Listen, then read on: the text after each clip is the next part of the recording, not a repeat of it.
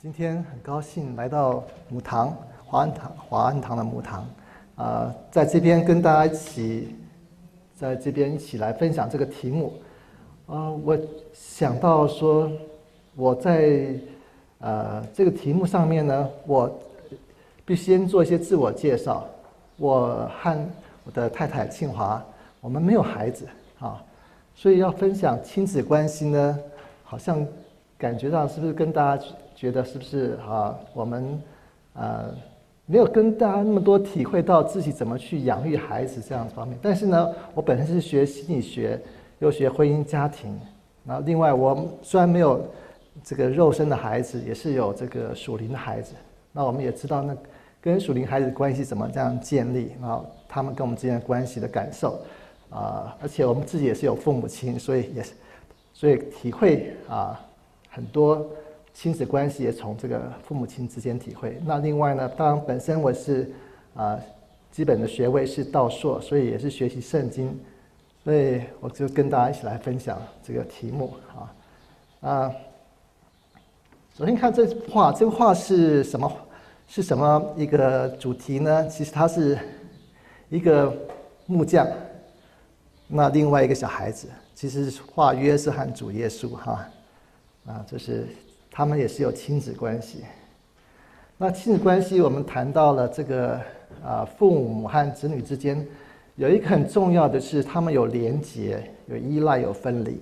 好，在看圣经上面啊，讲到我们其实父母和孩子是有一个非常基本的一个原始的连接。他说啊，真真言三十一章二节是讲到一个母亲，她说：“我的儿啊，我腹中的。”生的鹅啊，我许愿的鹅啊，我当怎样教训你呢？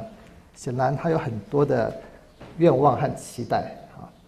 那另外箴言二十三章二十六节说：“我儿要将你的心归我，你的眼目也要喜悦我的道路。”可以看到一个父亲对孩子的期待。另外呢，啊，在以赛亚书四十九章十五节讲到是啊，他上帝用。人一个母亲和他的孩子的关系来形容啊，上帝和我们的关系，其实也是讲到这这关系基本上是非常紧密的连接啊。妇人焉能忘记他吃奶的婴孩，不连续他所生的儿子，即会有忘记的，我却不忘记你。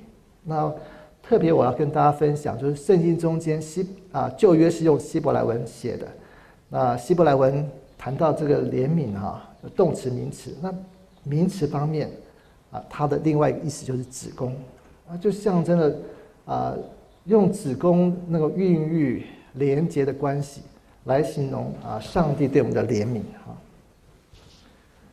另外，在罗马书八章十五节，他说：“你们所受的不是奴仆的心，人就害怕；所受的乃是儿子的心，因此我们呼叫阿巴父，阿巴父啊。”这个“阿爸”这个字呢，啊，我们以后还会有机会谈到。不过，就是“阿爸”这个字是犹太人小孩子叫称呼他们的啊父亲就叫阿爸，啊，所以呢，啊，这个是代表很亲切的一个称呼。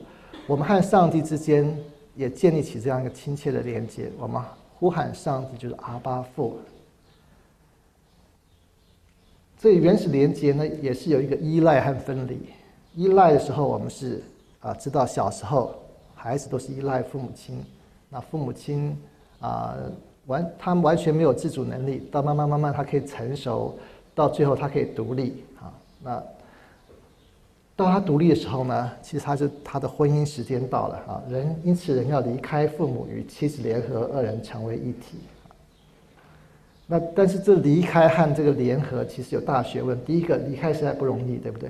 因为有原始的连接和依附，尤其是如果是单亲家庭，或者这个家庭太幸福了啊，都这个要孩子要结婚出去啊，独立的出去其实是不容易的。但是呢，也是必须的，因为呃有一个连接就是新的就是夫妻关系的连接。那那个连接呢，是二人成为一体。那因为有这新的联合，所以必须要离开父母。那以后的优先顺序呢，就是夫妻关系。啊，我记得我我父亲，呃，病危快要过世之前，啊，我的父亲的朋友跟我说，现在最难过的不是你们，啊，啊，是你的妈妈。那的确，他和我父亲是二人成为一体，连接关系。我们我们虽然是我父亲生的，但是呢，跟他也有深厚的感情，但基本上。那个最强的连接还是啊夫妻关系。不过离开代表独立，有新的优先顺序，所以要把优先顺序给夫妻关系。但是呢，仍然要孝敬父母，实际上非常看重孝敬父母。我们今天会提到这个事情。那所以离开之后，还是要奉养需要照顾的尊亲啊。如果他还是真需要照顾的话，还是有奉养他的责任啊。这是啊圣上教导说。人若是不看顾自己的亲人啊、亲属啊，就比那个不信主的还不好啊。那谈到依附关系，一个是幼儿对他人照顾他的人，通常是父母，一个很深的情感和行为的一个连结。那父母其实也对孩子也会有啊依附关系，所以有时候父母亲会表现很强烈的啊疼孩子、爱孩子，就是不想离开孩子。我父亲呢为我写日记，我出生一年第一年，他为我写一年的日记啊。因为我后来长大，他看到他写的日记，我很感动。其中有一段是这样子：他和我妈妈有一天去看电影，啊，那把我托给其他人照顾了。但是他们在电影院坐了一会儿，他说想回去，然后一起回来了。所以他和我，他和我其实就代表那个回想回来。和我在一起，就代表这个连接的关系很紧啊。那我相信中间我们中间有些做父母的，也是有这种啊感觉。但依附关系有一些研究和类型，我们来了解一下。呃，孩子最早的六周啊，是完全不会啊认人，他们也是可能就笑哭，不是针对特定的人。但六周到七个月开始注意不同的人物，那七到十一个月开始有选择性的依附，所以我们说有啊一个英文叫呃 eight months anxiety，就是在八第八月的时候会有对陌生人的一个焦虑，就是看到陌生人，好像就觉得想要更加的依附在父母亲身旁啊，那因为他这时候他已经有很很强的这种。啊，记忆的能力、注意能，他也知道父母亲其实有时候离开，并不是真正的不见了，所以他会对那个他能够跟父母亲产生连接，他会非常的依赖。啊，但是这个依赖的类型呢，有不同的情况，一种叫安全的依赖，就是他啊呃平常这个他如果安全的的话。照顾他的人和他在一起，他有时候开始会往外面探索，啊，然后再啊碰到了真正好像碰到什么事情，再回到他的这个依赖者的旁边啊，就是有有一个有一个啊例子是这样，有一辆车哈通过了，呃，他平常一个小孩在车上，诶跟大家一起玩，所以有时候还很难认出来他到底是哪一个是他的父母亲。但是呢，一旦那个车子啊经过一个黑暗的地方的时候，孩孩子就回来了，然后就知道那是谁是他父母亲，所以他会对他碰到他平常可以啊安全的探索外界，但是呢，碰到真的有需要的时候，他会寻找安抚的对象。那焦虑的依赖呢，就是他很怕被抛弃，拼命的追，所以呢，如果是焦虑的一个依赖。父母亲离开一下，他会啊哭或闹啊，等到父母亲回来，他会他也会很黏着父母亲啊，就不想和父母亲分离，这是很焦虑的。然后焦虑逃避呢，就是又焦虑又逃避，有可能是他觉得呃人都不可靠，只有依靠自己，所以呢。他看起来父母亲离开了，他也啊，好像看起来表面上无动于衷，啊，离开就离开嘛，回来就回来嘛，好像也不会特别去黏附父母亲。但是他如果是焦虑逃避的话，他其实可以用什么方法来知道呢？就是测量他生理上的一些反应，啊，心跳啊什么的，发现啊是有其实是有反应的，很而且是很强的反应。表示他的不在乎呢，不是真的不在乎，其实他在乎，但是他逃避，就是说他，他觉得那个依附关系其实没办法建立起来，所以他也没办法依赖那个依附依附的对象。那另外是混乱的，就是又想亲近，又怕亲近，不知道如何是好，就麻木、发呆、混乱、担忧啊。因为这种如果这种情况的话，可能就是真的是他碰到了一些创伤经验，或父母亲教养的啊，让他非常不安全感，啊，不可预期。有时候对他好，有时候对他不好。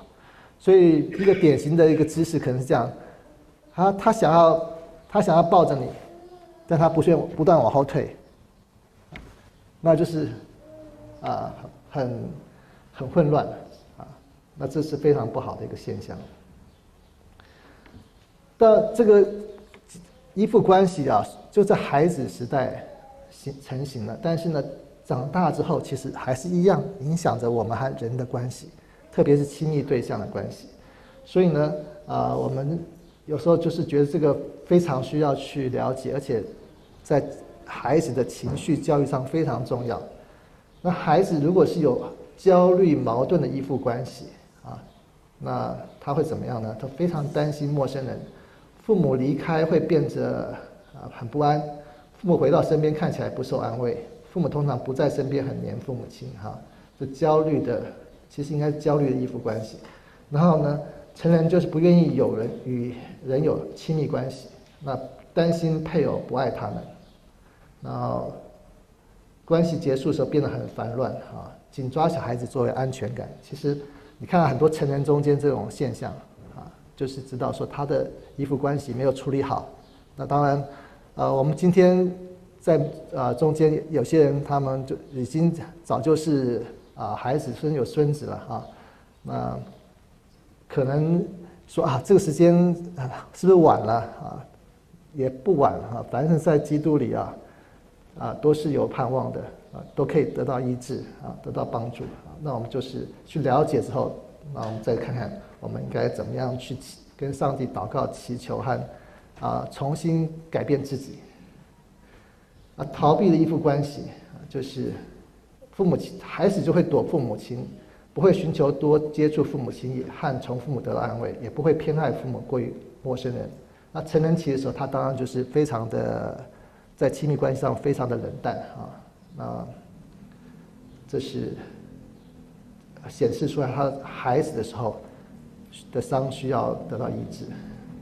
那健康依附关系其实有两种的很重要的元素，就是回应的爱和坚韧的爱。回应的爱，英文叫 mirroring love，就是好像一面镜子一样的的爱啊。那怎么讲呢？我们说嘘寒问暖，孩子冷了，然后就就给他穿哈，然后他饿了就给他吃。哎就是他知道孩子的需要，那通常孩子有情绪表现的时候，啊，哭的时候啊，哦，好难过哦，拍拍拍，啊啊，爸爸妈妈在哈，他会关心他，他会他的情绪，他他有什么情绪，他就会把把那情绪就关照到啊，这就是回应的爱。那同理心当然就是我们啊，常可能有人。用共情这个字眼，就是跟他就是能够共情，就是设身处地的站在对方的世界中间去感受啊。那恒常性，它是很稳定的，你知道他不会啊随随便便的就改变他的对你的态度。健康的心理界限就是说啊什么才是合适的，他知道啊，所以他不会侵犯孩子的界限，他会让孩子知道说啊有些界限是不要去不要去侵犯的。这样的话就能够反映这个人了解对方的需要啊，对方的感受。那坚韧的爱呢，就是保护、管束、期望、规范、标准和适度的有益有益的挫折。他设定哈一些啊理想标准，然后他让孩子去学习，要尊重这些理想和标准，要去啊去就是甚至有时候也是啊有意的挫折，他也去经历。但经历中间去变得坚强起来啊。那我们刚刚提到，就是这个小孩子他依附关系中间两个元素。那我们现跳起来更大的一个主题，就是那个父母亲跟儿女啊，到底他们的关系是呃怎么样的一个呃关系，是一个让孩子会得到很大的帮助。呃，我这边列出来七个，我想可能。也许你还会想到其他的，不过我们试看看来了解这七个是什么。第一个是最基本的生理需要一定要满足，对不对？哈。第二个呢，就是关注心理的需要，啊，建立良好的亲子关系。其实这个是很重要的一个其他关系的基础。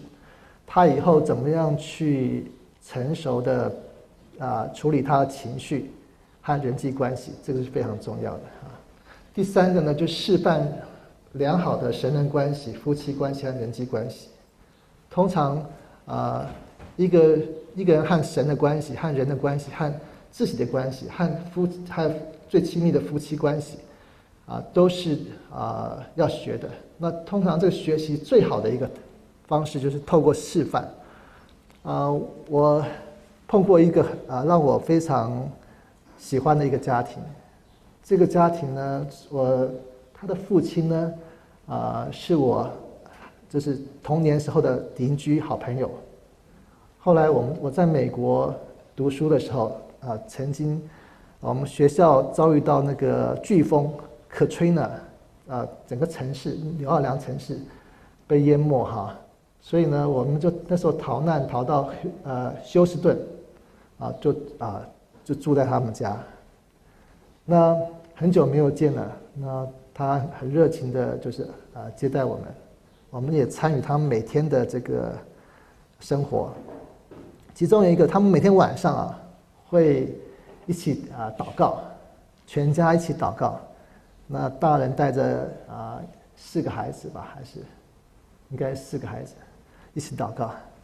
那孩子们呢，呃就会提出他们今天要带到什么事情，他们一起背圣经，然后。最后呢，每个孩子走到父母亲面前啊，跟父母亲拥抱或亲吻啊，然后去睡觉，啊，很羡慕。那这是一个父母亲，他现他是在示范一个怎么过一个这个信仰的生活。另外一个我，我对他的观察，我但我真是对他很敬佩。他，我们我和庆华啊那时候啊也蛮注重运动，我们早上起来会去跑步。啊，然后呢，他呢，竟然就是呃早上起来他去上班了，但有一天呢，我们看到他，就是在那个呃家里面跪着，在那边祷告。啊，他去之上班之前，他跪着祷告。我们这边都有贵店啊，这这是一个就是让孩子学习怎么样每天进钱过日子。这是一个很好的一个示范。然后呢，呃，培养好灵性，助陶铸像基督的品格，啊，一个呃一个呃灵性是品格的根基，那品格是整个灵性的表达出来，所以他怎么样呃品格呢？诚实正直啊，懂得关心人，都是品格啊。那基督的品格就是这样表达出来的。那像圣灵的果子。仁爱、喜乐、和平、忍耐、恩慈、良善、信实、温柔、节制，啊，这些的品格呢，都是需要培养。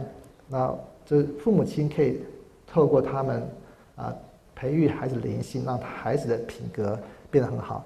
有些父母亲很注重培育孩子的智力，啊，让他受很多的教育啊，然后让他考很好、很高的分数，很看重分数。不过我我们知道，后来有些父母亲后悔了，因为他孩子长大了，很会读书，但是离开了信仰，甚至他们品格变得非常不好。那他说要他再选择的话，他宁可他孩子灵性好、品格好。品格好，虽然可能成就没有那么高，但是呢，他会真的对社会好，对自己好。这这是他们就是呃，也在上帝面前，其实是真的做了一个好的做父母亲的一个责任。好，训练良好的好习惯，很多好习惯都是小时候训练起来，所以基本上小学以前呢，这些习惯呢都训练起来了。以后长大了，谁谁会训练你什么？要不要随地吐痰啊？要不要剪指甲？要不要刮胡子？都不都不需要。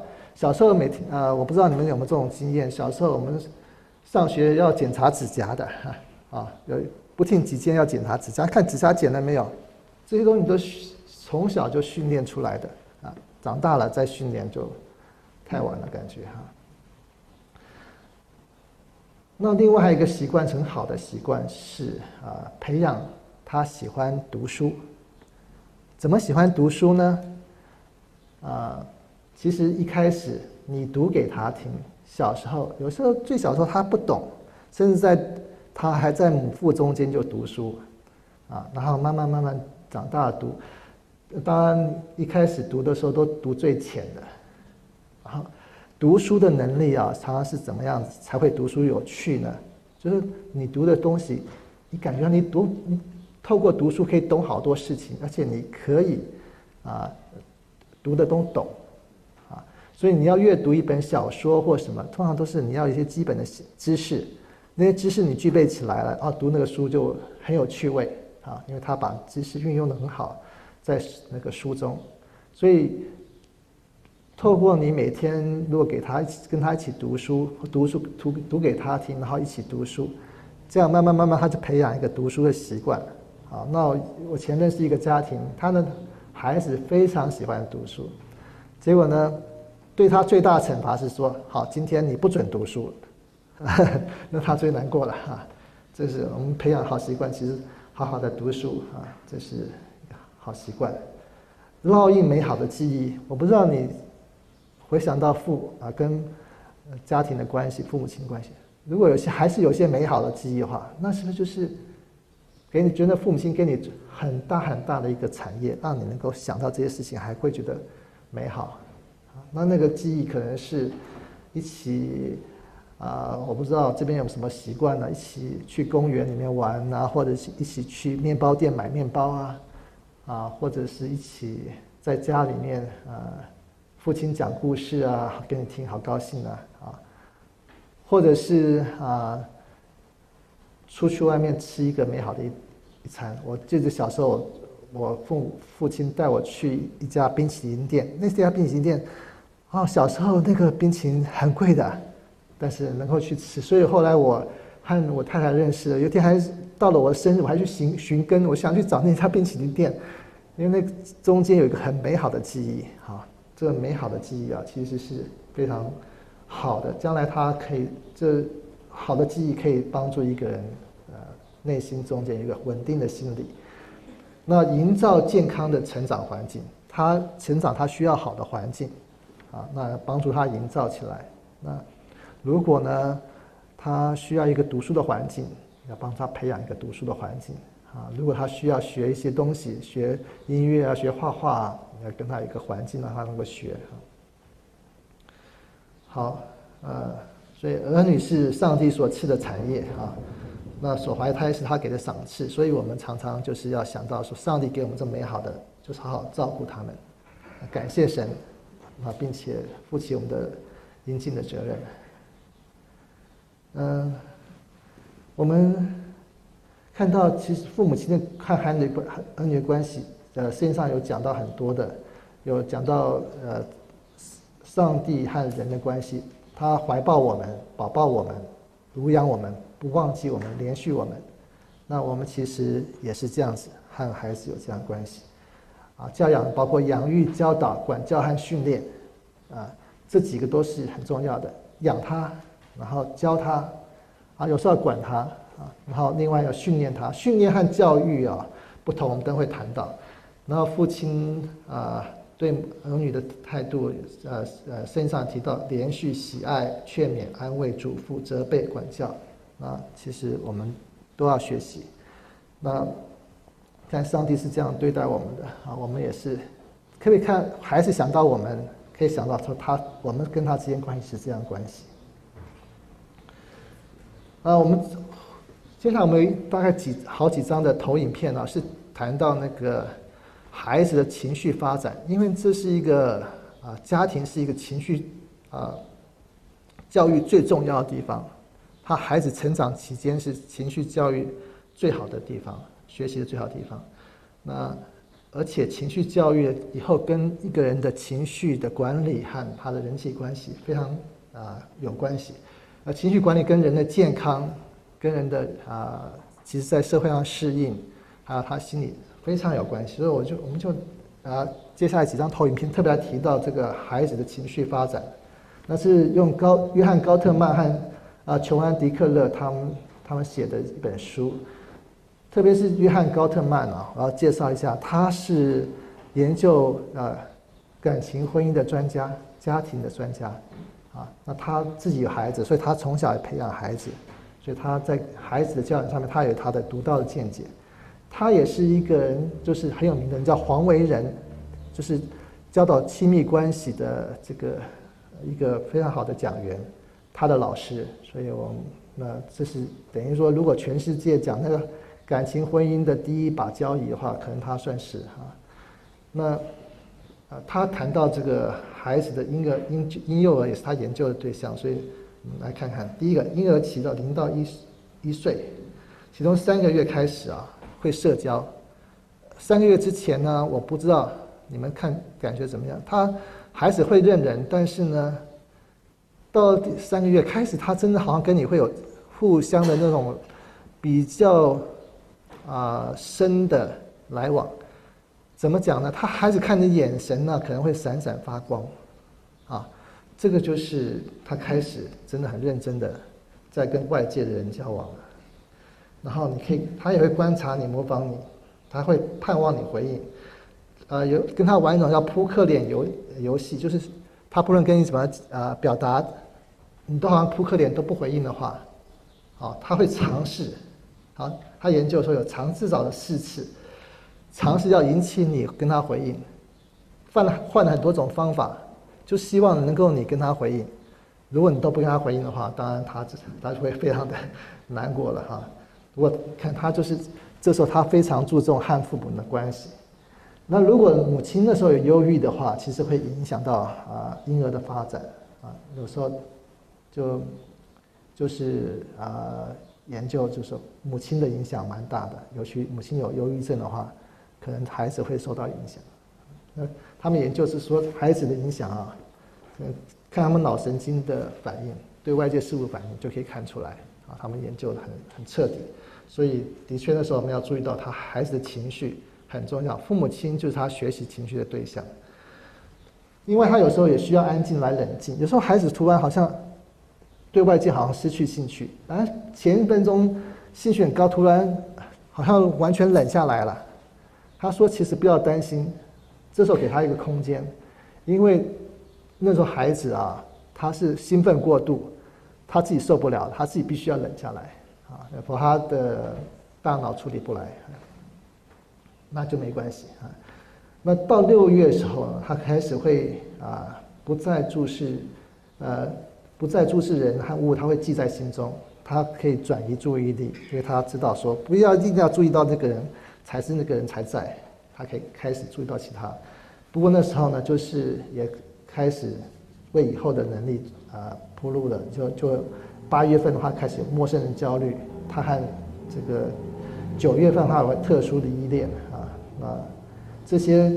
呃，以后也更了解语言，这些都会成为他一个能力，叫社交参照，就是他会看到啊外面的，比如说狗啊，啊狗叫啊，狗摇尾巴啊啊，那不同的这种情况，他会他会有一种情绪反应，他他然后他不但有情绪反应，他还会寻找看看你，看看这个父母亲，哎他们的呃情绪反应是什么。因为他们的情绪反应呢，是代表他看看，哎，我的情绪反应是不是跟父母亲一样啊？啊，那所以父母亲是一个情绪的得到情绪资讯很重要的一个管道。那合适的情绪都透过这样的社交参照能得到的啊。那父母亲可以做什么呢？做孩子的安全基地、安稳港口。他可以探索外在。那他如果碰到什么事情呢？回到你身边，你你也会跟他做情绪反应，然后呢，那他就会啊，慢慢慢就学习了，就是又自信又知道怎么去管理自己的情绪。做孩孩子的镜子啊，反映情绪表达，我们刚刚提过了。然后你可以讲啊，可以跟他讲说啊，你现在觉得啊有点累是吗？啊，你现在觉得啊生气喽，因为啊你想要吃东西，但是。都吃不到啊，或者说想要玩玩具，但是没有人跟你玩啊，这就是你你跟他在讲这些事情，让他知道说你了解他，而且他的情绪呢被你证实了，这个情绪是啊，你你了解你让他知道说这些情绪也是可能合宜的，或者是啊有些给他讲说啊引导他说啊情绪怎么去处理它，好，那。九到一九岁到一个月的话，啊，他开始，我们要跟他有这种强烈依赖的时候，怎么去跟他建立起安全感呢？有时候可以就是对他情绪做回应。这个作者他他用个游戏，就是啊，一个手掌五个指头，他画上不同的脸，啊，这个大拇指是生气，画个生气的脸；啊，食指是哀哀伤，画个哀伤的脸；啊，中指是恐惧，啊，然后。小拇指是呃，这个这个哦，应该是无名指是惊奇哈，啊小拇指呢是快乐啊。那不同的这个指头，他说你就是说跟孩子说啊，你今天啊过得怎么样呢？啊，我今天啊啊碰到了什么事情，然后我觉得生气啊，我今天碰到了什么事情，我觉得恐害怕。然后你跟他讲完你自己的，然后那你呢？你今天怎么样呢？你可以，他就可能拿着指头说：“哦，我今天呢，我我我很高兴啊，什么事情很高兴？”他就开始跟你讲，哎，就是让他开始学习跟你的情绪会做回应互动。你可以了解他，其实他跟你在这方面，我们说一个很重要，父母亲和孩子的连接也是建立起来。然后呢？啊，一到三岁呢，开始他发展自主意识啊，很重要，我很重要，啊，东西都是我的，不不可以跟别人玩。那然后你要你要帮助他去啊学习尊重分享啊，真的你的东西很重要，不能够跟别人分享的话，那今天我们出去都要带有些东西不能够跟别人一起玩的话，别人也觉得你东西很想要的话，就会冲突了。所以啊，这东西我们不太出去啊。啊，别人拉到你家，你要让他选择有个东西可以啊。跟别人分享有些东西，你可以保留自己啊，让他学习啊，去分享和尊重主权啊。那也是他会呃玩假扮游戏，然后他会观察身边人处理自己情绪。假扮游戏就是啊，有时候扮家家酒啊，那有时候他会啊，或者是玩。他一面拿东西来玩，他一方面就是表达自己的啊内心话。他会一面玩一面讲话，啊，孩子都是这样子的，他不会说是啊，好像就是把话憋在心中不讲，他会讲讲话讲得出来。其实这时候就是一个很好跟他一起探索他内心的的呃感受的一个好方法。那有时候透过假扮游戏跟人家沟通。啊，我来扮演什么，然后跟他一起玩，玩之后就一起啊，把一些事情都跟他沟通起来了。那他他是时候有时候会有这种恐惧的，那他们呃发现有几种基本的恐惧，就是无力感。其实他发现他自己不是每件事情都他他都可以啊有有能力去做，他会有无力感，好怕黑啊，怕被啊丢掉，被丢弃了，被朋友遗弃，被父母遗弃，还有死亡。碰到看有人东西，宠物死亡，或者是小东西死亡，或者是呃亲人死亡，他都会有焦虑感。啊这些东西都其实我们啊都可以透过一些游戏啊跟他来啊呃彼此来学习怎么去面对这些游戏的情感和沟通。啊，八到十二岁呢，他们有一种现象，就是他们很注重同才，注重那个到一个地步，他有时候会采取叫情绪切割术，就是他避免被嘲笑，他会装很酷，我才不我才不在乎呢。啊，其实不是他不在乎，他是真的要保护自己，不要被伤的太重啊。那那时候，你当你需要啊帮助他去处理他的悲伤或是愤怒，啊，那并且灌输他说怎么样仁慈和互相尊重。青春期到了哈，就是自我中心、身份认同，到底我是谁啊？我从哪里来？我会往哪里去？我我有价值吗？我被喜欢吗？啊，我是我我是长处是什么？啊，他都会想这些问题，然后他也会面临到，就是说，呃，怎么把自己的想法和自己的感受能够结合在一起？这时候父母亲开始不只是。不只是就是好像教练，他要做顾问，因为他开始其实要慢慢慢慢让孩子独立，也尊重他啊，所以啊让孩子成成为孩子咨询对象，那要渐渐的和他分离了，那学习不要啊给他品性标签，而是啊针对他行为来讲哈，啊你这样做你。真啊，你真偷懒，怎么不好好读书？不要这样讲，你呃，你你你是一个懒鬼哈，不要这样讲。你你要想说哦，你啊不想读书，那可能这个会影响到你的成绩。就是针对那个行为来讲，不要讲个品性。那有时候他也需要一些提供意见的人，给他安排一个很多很多啊，什么事情可以找谁来啊咨询啊。鼓励他独立，但是做他的靠山。好，我们就是讲到说，这个情绪的发展，看从小啊小好的婴孩开始，到青春期，其实他们情绪的不断在发展。那这些发展中间，你能够去了解，然后呃能够好的回应，就是就是情绪就会好的成啊发展和成长。那通常他说到父母亲教养的这个有四类型的教养。那这四类型教养，会会影响到情绪不同的情绪的发展。第一种是非常独裁的，啊，独裁的话，他他设立规定，然后他否定感受，你就照我的啊规定去做，啊，这是独裁型的。宽放任型或宽松型呢，就是啊呃怎么做都可以啊，我不知道怎么怎么去啊。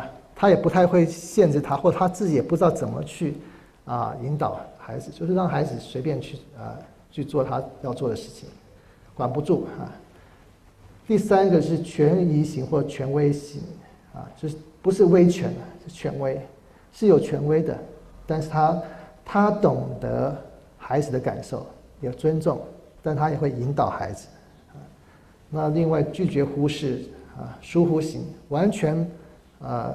放任型的话，就是说，啊，你怎么样去做都没关系。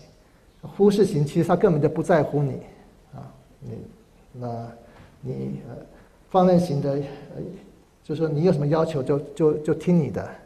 忽视型说你的要求我根本也不听，啊，这是那不同的要不同类型，当对孩子的情绪会有不同的影响。在威权下面长大的孩子呢，情绪通常是被压抑的，啊。那，放任的话，啊，情绪通常就没有界限啊。那忽视呃冷漠的话，他其实他也真的不知道我的情绪到底是是什么啊。然后他也不知道怎么去处理别人的情绪。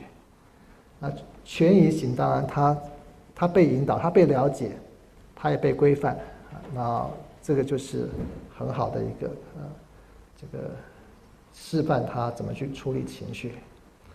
那情绪辅导的五个步骤，第一个就是说，啊，他孩子有什么情绪呢？我们察觉他，然后呢，现在是快乐，现在你是难过，啊，我们就按照你的这个情况，就来先察觉孩子，呃，你如果真的不知道他情绪是什么，那当然可能出了大问题，因为他的到底什么感受都不知道了，对不对哈？但是第一个察觉之后呢，还要啊知道说，其实我们可以怎么去引导教导他，其实是啊我们是有扮一个关键性的角色，然后呢，用个态度就是我同理心，设身处地去去体会他的感受。啊，关于同理心呢，其实非常重要。我是学辅导的，然后辅导就非常讲究同理心。他要想办法和那个受辅者建立一个关系的时候，同理心非常重要。那呃，我们学辅导啊，听过一个故事。这故事是一个非常非常好的一个治疗师啊，他其实是一个非常就可以算治疗大师。那他有一个。病人跟他讲一个故事，那故事啊，啊，那个病人请他跟其他的他的学生都讲这个故事，是这样子。那个那个病人呢，啊，就是他辅导他当心理上的一个帮助他，但那个病人后来他得了绝症，快要离开世界了。那但他说，我很希望把我这个故事啊，能够将来继续传下去。你将来碰到你的学生的时候，跟他们讲这个故事给他们听，让他们知道啊同理心的重要。这个病人他呃从小他父亲呢，非常的啊霸，他感觉到非常的强势霸道，所以都不听别人的意见，啊也不顾别人的什么想法感受，那所以呃当然就是。这个母女关不父父女关系非常不好，但是呢，这个小这个女儿的很想跟父母父亲还是修复这个关系，所以她她找一个时间来修复，就是她去读大学的时候，读大学那呃常常他们是会到不同的城市去读大学，所以她呃在去读大学的那个去那个大学的。旅程旅程中间呢，他父亲开车送他去，然后他很希望跟父亲修复这个关系。因为他跟他父亲讲说啊，我看这个车外的风景多么漂亮哈。他父亲竟然说，怎么漂亮？一点都不漂亮，很很丑陋啊，很很难看呐啊。那他听完之后呢，他整个心又封闭起来了。他说，这父亲呢，真是。不可理喻哈，没办法沟通啊，所以就放弃沟通。那后来当然，他啊父亲也生病过世。那是有一天呢，这个这个女儿的做女儿的，她在开车，走同样一条道路，不这次是她开车，她才发现。原来这个驾驶座和驾驶座旁边那个那个乘客的座，看出去窗外风景是不一样的。一个看到的是非常脏乱的一面，一个看到是非常美丽的一面。原来如此，然后他才发现，我们没有办法进到对方的的视线中间去看对方的世界的时候，其实看不能够明白对方想的是什么，感受是什么。啊，所以同理心其实是非常重要。我们鼓励大家呢，跟你孩子交往一定要保持一个要进到对方世界去了解他的心态，然后呢，帮助他标示他的情绪。哦，你的情绪是啊很难过，因为啊宠物死了啊，那他好像我们的好朋友啊，那我们就跟他谈谈这个啊死亡啊对他的冲击。然后解决问题，设立规范，有些时候就是啊，怎么样处理这个啊，例如说难过的情绪，有些时候处理一些生气的情绪，那有些时候需要设立规范，就是什么规范呢？例如说，有些情况是我们知道说这个这个是绝对不可以的，啊，红灯啊，这个例如说不可以陷害别人。这是绝对不可以，不可以动手打人啊！这是红灯。那黄灯呢？就是有些时候我们可以容许的啊。有时候你啊，今天啊生病了，可能有时候发脾气可以被容许。那绿灯的话，就是这个情绪其实是很好的。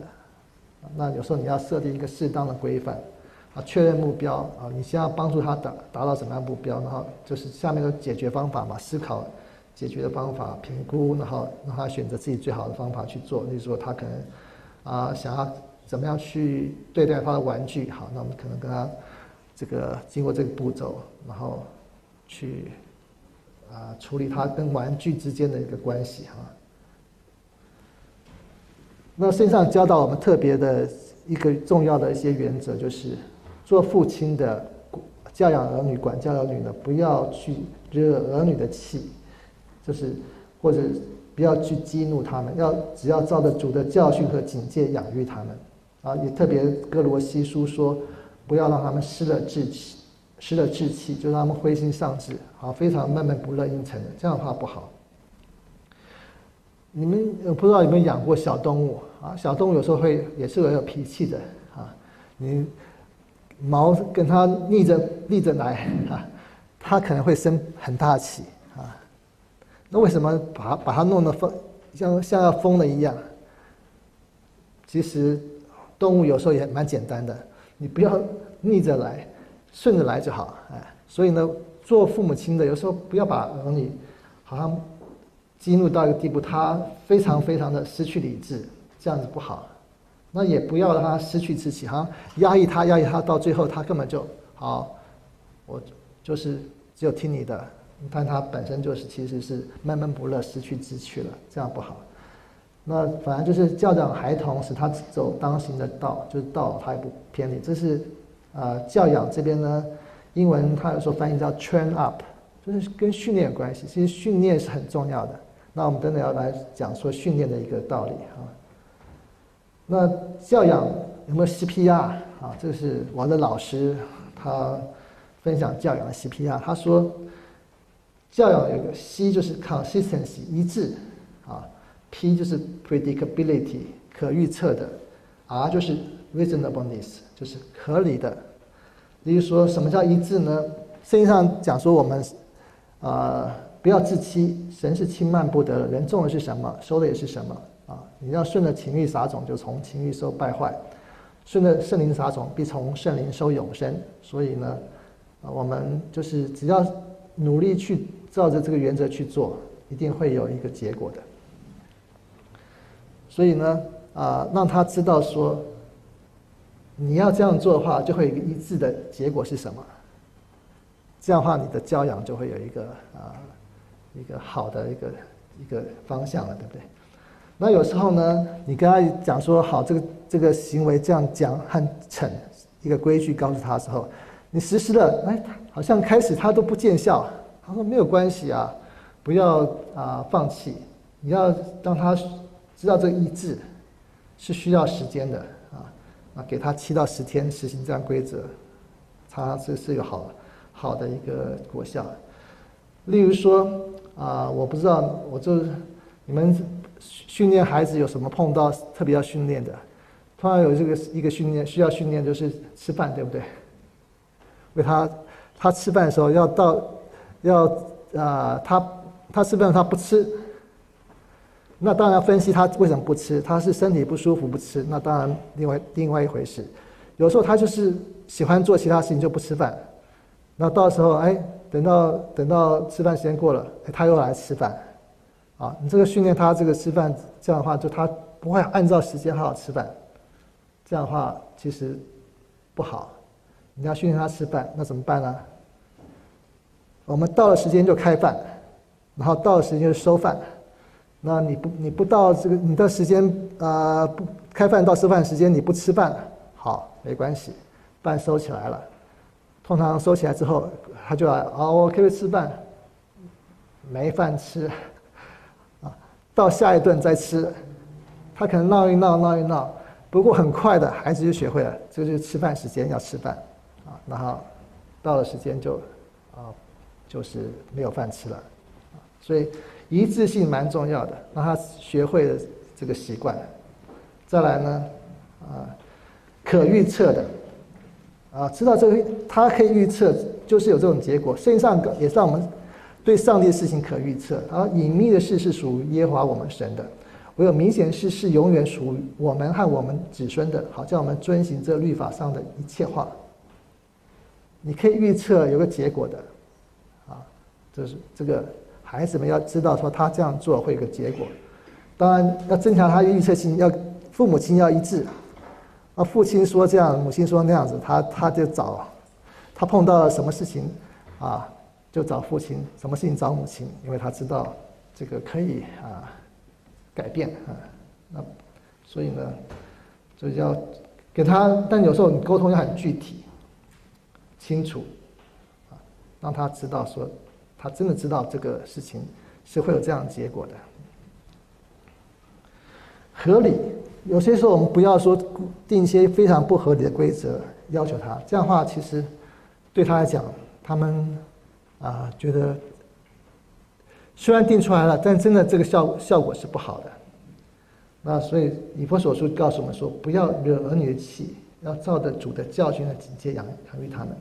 怎么样加强合理性呢？就是给他一个呃，甚至要配合环境，例如说啊。假设你要孩子好好读书，但是你不给他读书环境，他怎么好好读书？所以你要给他一个合理的环境，让他好好读书。你自己本身呢，也要自己能够节制、控制自己啊。佛话，你怎么去要求他去控制自己？不合理哈。所以，我们这些东西都是要呃学习的。嗯，孩子。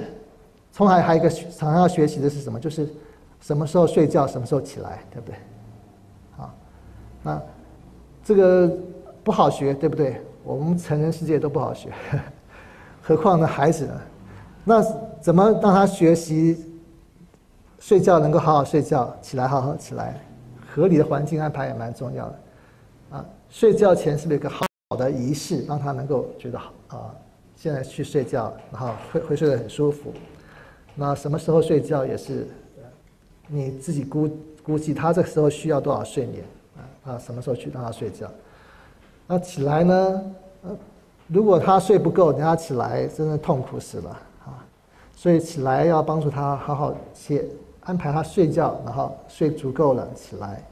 啊起来的时候，有些时候一刚一想起来的时候，有些时候会觉得。呃，还是想要多睡一会儿啊，还是觉得啊，就是那个时候睡意还有点睡意，怎么办啊？怎么怎么做呢？就是让他起来是一个欢乐的起来啊，可能你设计一些起床的这个仪式，让他很很快乐的起床，啊，呃，让他就是渐渐渐渐清醒，然后很快乐的跟你一起起床，那就是这样的话，就是最好的一个一个合理的一个训练方法。有本书叫《优秀是训练出来的》，按照圣经来训练孩童。作者是刘秀雄啊，刘秀雄长老呢，他啊非常会写这个表达写作哈。那他特别谈到说，教导和训练是不一样的。教导是让他知道，那训练是要去做，甚至呢说不一定要知道，要去做。教导是给他知识，他训练是叫他去运用这个知识的技能。教导让他脑袋清楚，训练他养成习惯。那训练时间最黄金的一到六岁，错过之后啊，后面还是可以训练，就是比较辛苦啊。所以呢，你要不要训练孩子啊？刷牙要，对不对？好，那如果说这个他要不要说啊？为什么要刷牙？有些时候他还不知道，你刚刚说会蛀牙，还不知道什么叫蛀牙。不过就是要做，知道也要做啊，就是就是这叫做训练。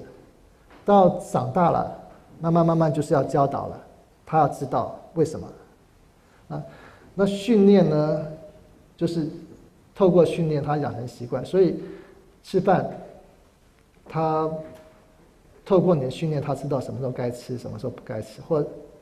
要吃什么，也要有时候要训练他，啊，什么都啊，不要说不听话，就就说可以选择不吃啊，要学习要吃啊，有一些啊配合的措施，让他觉得啊，就是刚刚讲 CPR，就是一致、可预测、合理，然后执行这样。那有些人谈到一个问题，说那训练是不是要给他信仰上训练？有人或教导，当然应该要。他这个刘秀雄啊长老，他听到有些父母说啊，我们现在小孩子啊要尊重他自己的选择，他他要他要怎么样的选择他的信仰？那他我们尊重他。甚至他长大了，他自己去选择。我们现在不要帮助他选择。说，他就问他说：“你会呃让孩子决定要不要刷牙吗？”不会啊，就是吃完了甜的东西，该刷牙还是要刷牙，对不对啊？那那信仰这么样重要的事情，你他还不明白的时候，你你就等到他明白再做选择吗？不是。你就是要让他早就很早开始去做做这个呃训练了。啊，训练的基本原则不是孩子能懂道理才开始去点啊，那每个小孩都能够训练，那他也需要计划，那奖励和阻止一线之隔，不要逃避问题。啊，你说啊不要打妹妹，这是阻止，对不对？奖励你对妹妹怎么好，啊，所以。所以我们有时候可以多多奖励，当然有时候是要阻止哈，但是就是啊，可以有时候透过奖励来让他学习表达好，然后呢一致性啊，自己要不要啊忘记了自己做训练者要做示范的。你们有没有听过赏识教育？我不知道多少人听过赏识教育，举个手好不好？挥一下，一个、两个、三个。哦，三三四个，呃，是有一个人叫周红啊，他我听说他在中国大陆是非常火红的一个训练的这个教育家。那我看过他的这个书，看过他的这个影片啊，教导影片非常好。如果你们如果有兴趣的话，可以去啊上网搜寻他。然后他要赏识教育，他就想说，他有个孩子天生呃不是。哦，呃，因为不小心就就是丧失了听力，耳聋了。耳聋之后呢，他尝试把他教大，然后教呃把他教育长大。后来那个孩子非常优秀，啊，学业表现非常优秀，成为一个很好的孩子。啊，当然就是得到大家的注意。他也把他这个整个教养的一个过程归纳成为赏识教育。他说：“其实学习啊，最重要是要有乐趣的去学习。所以你要孩子学东西，你要让他有乐趣。那怎么样乐趣呢？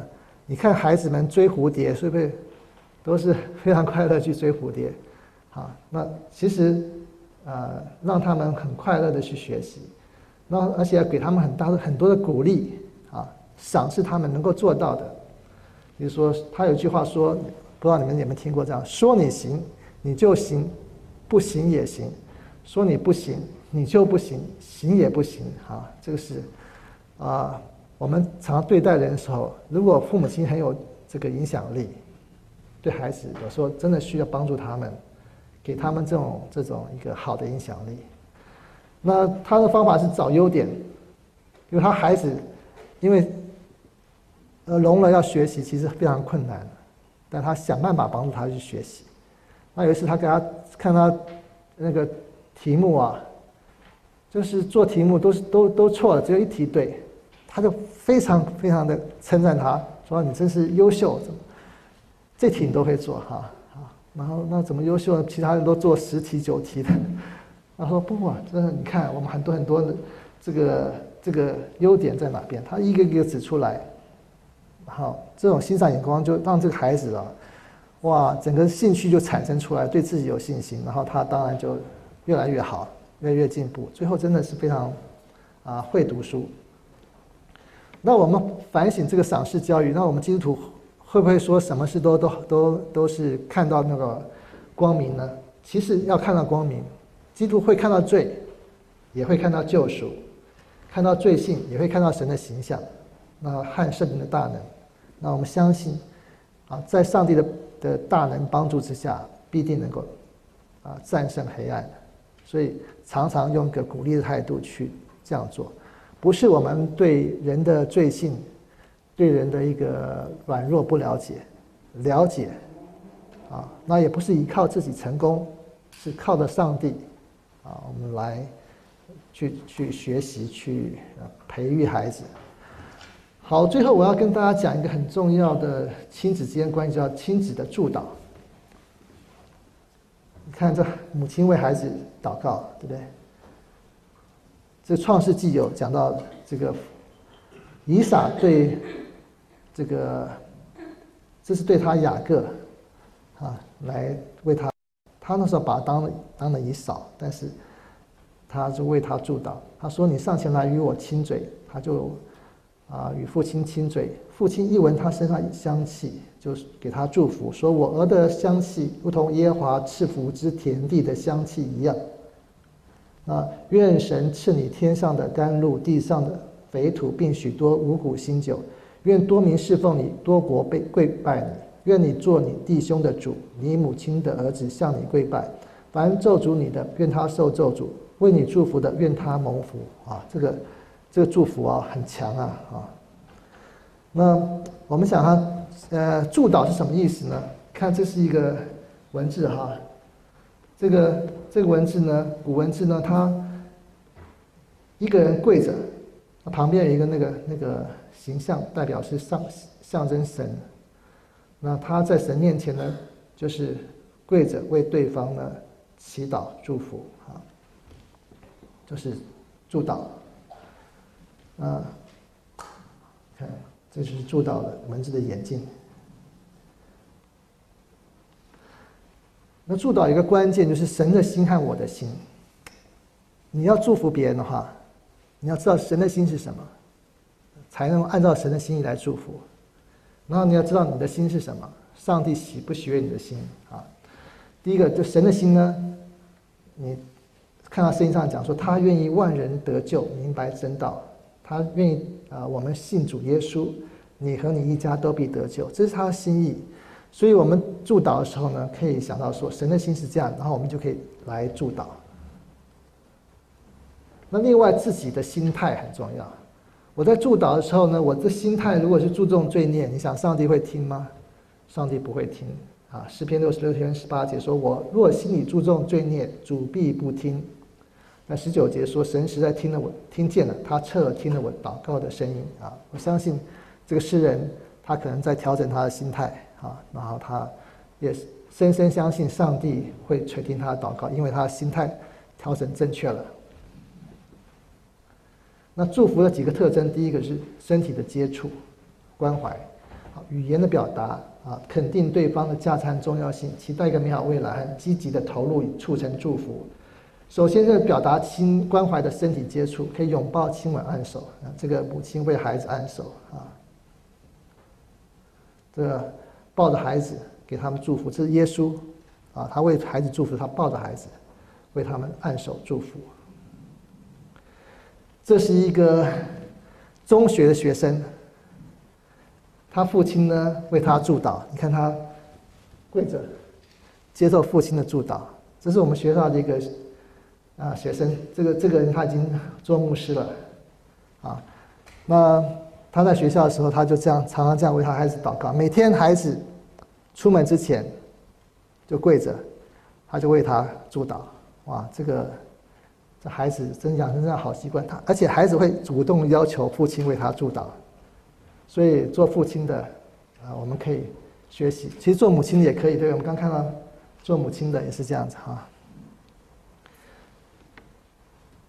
这透过按手，啊，表达一种关怀、身体的接触。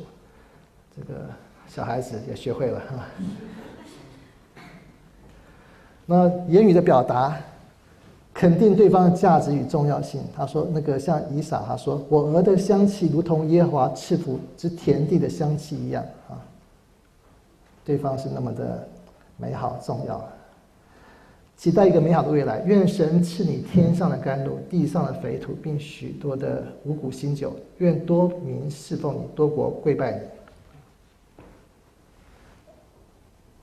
那这是雅各为约瑟的祝福，他说：“你父亲的神必帮助你，那全能者必将天上所有的福、地里所藏的福以及生产乳养的福都赐给你。”他说：“你父亲所住的福胜过我祖先所住的福，如勇士的山岭、至极的边界，这些福必降在约瑟的头上，临临啊临到那与弟兄迥别之人的顶上，临到哈。”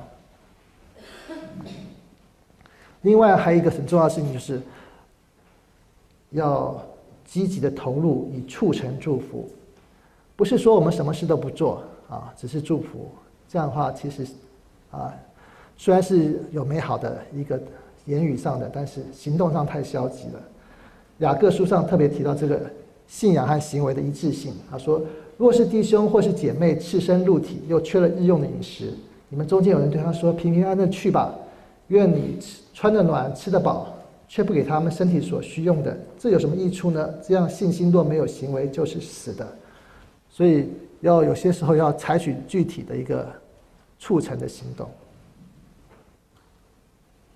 那诗诗篇教导我们说：你当依靠耶和华而行善，住在地上以他信实为粮，又要以耶和华为乐，他就将你心里所求的赐给你。当将你的事交托耶和华，并依靠他，他就必成全。看。他的信靠和他的啊行动是一致的。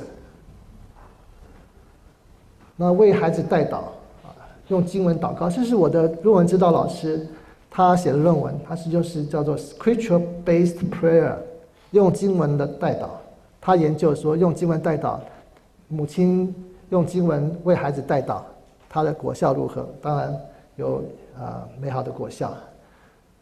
你比如说，我们用一段经文说啊，是那个是菲利比书说，应当一无挂虑，只要凡世界的祷告、祈求和感谢，把你们所需要的告诉神，神所赐出人意外平安，必在基督耶稣里保守你们的心怀意念。这是经文，哎，你怎么用经文为孩子代祷呢？可能说啊，我亲爱的某某某啊，愿你能够一无挂虑。愿你凡事就借着祷告，你和上帝交通；借着祈求，你和上帝提出你的请求；还有感谢你，感谢神，啊，感谢他，他爱你，他定赐福在你身上。那你这样做的话，他一定会赐给你出人意外的平安，在基督耶稣里保守你的心怀意念。啊，奉主耶稣的名祝福，阿门。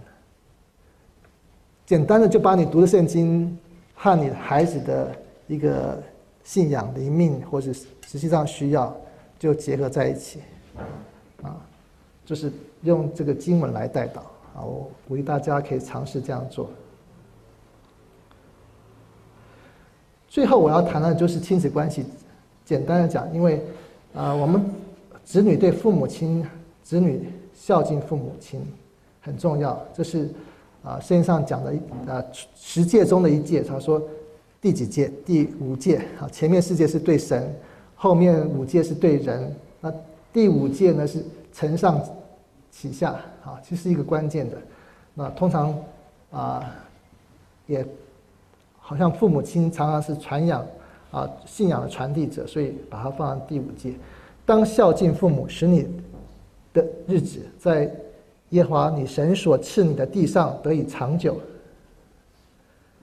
那新约中间重申这样的一个福气，他说：“你们做儿女的要在主里听从父母，这是理所当然的。要孝敬父母，使你得福，在世长寿。这是第一条带应许的诫命。首先，我们他说要要做的是什么？就是在主里听从父母。”那这是理所当然，他认为说这非常非常的合理。然后呢，他要说要孝敬父母，那你会怎么样呢？得福啊，因为实践告诉我们就是会得福的啊。那在世长寿啊，这是实际上的福的一个啊面相。然后呢，这是第一条带应许的诫命。诫命中间带应许的第一条就是这个诫命。那非常重要啊！我们其实上帝对我们来看，就是我们的呃整个家庭他都关心啊，所以有些时候我们关心父母亲，希望他能够信主啊，孝敬他的方法就带他信主啊。那因为圣上告诉我们，当信主耶稣，你和你一家都必得救。哦，我为我父母亲祷告好多好多年，啊，那他们后来信主，很高兴，感谢神哈。清华也是哈，那都是去经历。然后有些人他呃信主之后带父母亲，父母亲就很容易信主，也感谢神。其实上帝的一心意就是全家得救，好，但愿我们都能够经历这样的一个福气。然后呃，我特别这边没有打出来，但是要提到一件事情，说圣经上看重孝敬父母，非常看重。一方面提到孝敬父母是应带应许的诫命，使我们得福；但是呢，另外又提到了不孝敬父母，其实是上帝非常不喜悦。那个旧约说，啊，这个是要把这个孩子用石头打死的，啊，非常的强烈的一个诫一个一个教导啊。所以呢，我们我说我信主之后读圣读旧约。咒骂父母的必要致死，哇！我说，哇，以前说是不是做过一些事事情是上帝看起来非常啊不喜悦的事情？我才知道我应该好好的去学习，不要去啊批评骂父母亲哈，这个是不好的。当然，你说父母亲要怎么来孝敬他们，要在主里听从他们，有些事情还是不应该学，不应该听，但是呢。在主里主的意思的话，我们就好好来孝敬他们。那亲子关系就是神的诫命，帮助我们带到一个对的状态，然后信仰传承，那我们要好好教育训练，生命产生连接，有好的依附关系，然后它成为安稳港口，可以往使我们啊能够很好的去探索人生的各种挑战。那但是我们也有时候呢也会啊。碰到风浪，有时候可以回航，啊，在这关系中间得到啊重新的修养，在社会基础农农福喜乐，最后就是圣经上告诉我们说，好好的去经营这样的啊关系，因为这是圣经中间告诉我们说，我们的神他其实在他最后审判之前呢，他会先做一件事情，就使人的心。父亲的心转向儿女，儿女的心转向父亲，其实包括父母亲。他是希望我们有这样美好的关系。那但愿我们都能够啊，今天讲到说基督徒的亲子关系都能够学习有美好的关系啊，跟大家分享到这边。我们先来做个祷告。亲爱的主，今天孩子分享了许多，主，但愿。你来保守看顾，使啊我们讲的和听的，在你面前都蒙恩，都能够知道上帝爱我们，他在我们生命中间，希望我们有美好的亲子关系。或许我们中间有些人这个时间过去了，啊亲子关系已经是中间受到伤害的，求主医治。让我们在上帝身上重新得到一个医治的力量，主啊，让我们和上帝有美好的关系，得到安慰，得到激励。也，我们中间还是有人，还是有希望的。求主鼓励我们满怀希望，主啊，好好经营我们的亲子关系。但愿这一切都在你面前蒙恩，主啊，这一切。主，我们需要学习的，你常常用圣灵来提醒我们、引导我们。我们的主，谢谢你，因为你是这么爱我们，也让我们活在这样爱的关系中。但愿你的名得着荣耀。祷告奉主耶稣的名。